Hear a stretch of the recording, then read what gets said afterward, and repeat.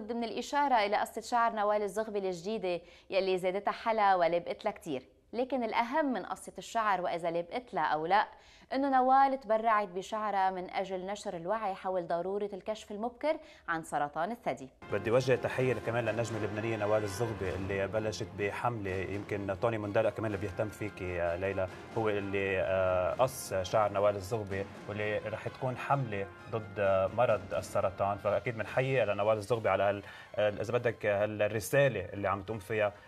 نوال لأنه مثل ما هي image نوال بالعالم العربي كفنانة أكيد كتار بيمشوا مثل ما نوال بترجع.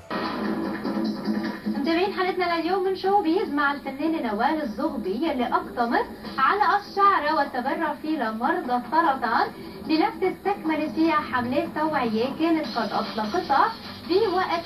نوال نشرت على تويتر صورة ب look ا الجديد وعلقت الشعر ما بيخليك حلوة إنما قلبك وقصة شعرك لمحاربة السرطان من ناحية أخرى صورت نوال الزغبي وبسرية تم فيديو كليب أغنية جديدة من ألبومها المنتظر بعنوان وأنا بحبك تحت إدارة مخرج جاد هاشم